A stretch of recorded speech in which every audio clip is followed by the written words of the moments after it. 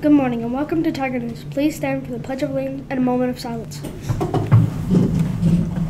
I pledge allegiance to the flag of the United States of America and to the republic for which it stands, one nation, under God, indivisible, with liberty and justice for all.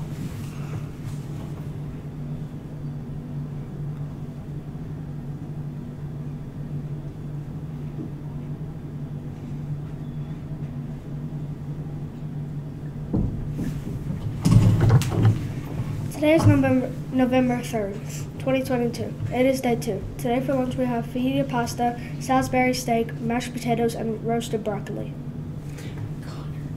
Connor, knock knock. Who's there? Tank. Tank who? You're welcome. Thanks for Thanks for listening. listening. Have a great day. Don't Don't forget to let your light shine. Bye.